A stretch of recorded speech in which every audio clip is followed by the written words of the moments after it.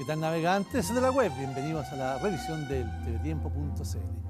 Tras la lluvia, neblinas matinales afectaron este domingo la zona central. Los chubascos no se detienen desde los lagos hacia el sur y los vientos tampoco, rachas que alcanzaron hasta los 110 kilómetros por hora en Punta Arena. La semana partirá con mañanas grises en el norte, mayormente soleado el centro y nubes pasajeras que cubrirán a rato el sur. La lluvia, insiste, no da tregua en el sur austral. Vamos de inmediato con el detalle. Las nubes serán desde temprano en el norte grande del país, pero solo al despertar luego se despejará y caerán chubascos escoltados por tormenta eléctrica en la cordillera entre Arica, Parinacota y Antofagasta. Se repite la nubosidad matinal, esta vez en las regiones de Atacama y Coquimbo, de día al sol por la tarde, con máximas que podrían alcanzar 24 grados en Ovalle y Copiapó. Partirán la nueva semana con un lunes totalmente soleado. Aquí, en la región de Valparaíso, agradables 20 grados recibirá la ciudad Jardín y calurosos 31 sumará San Felipe.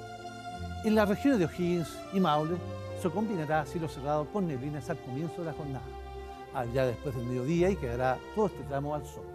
Se extiende la posibilidad de neblinas matinales alcanzando también a Ñuble, despejado todo el día en Biobío y de cielo limpio semiclaro por la tarde en la región de la Araucanía.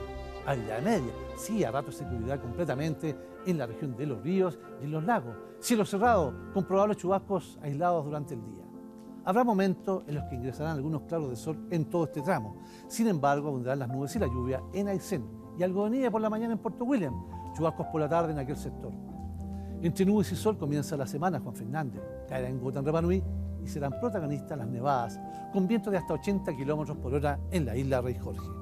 La región metropolitana recibe un lunes con cielo transparente y mínima que cada vez se pone menos generosa. 7 grados en San Bernardo y solo 8 en Quintana del Mar.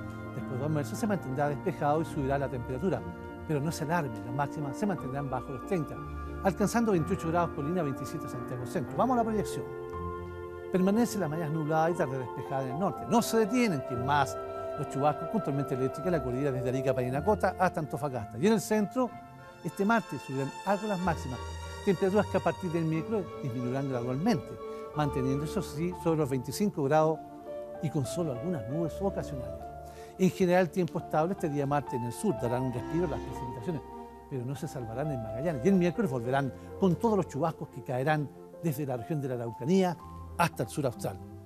Finalizamos esta nueva sesión. Ustedes pueden seguir recorriendo nuestro sitio web, donde podrán encontrar sabrosos y exclusivos contenidos de la segunda temporada de Hacedor de Hambre. Recuerden comentar también en las redes sociales con el hashtag Hacedor de Hambre. Que estén muy bien. Hasta pronto.